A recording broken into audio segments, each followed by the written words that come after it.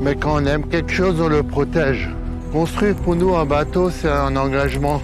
Ça veut dire bien choisir ses matériaux. Développer des technologies durables.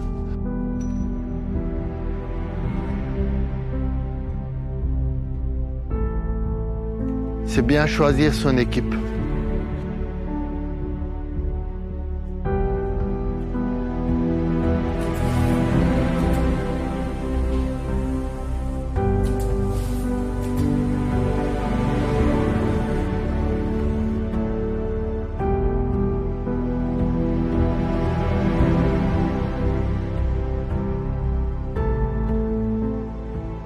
Le luxe, ce n'est pas une affaire de démesure.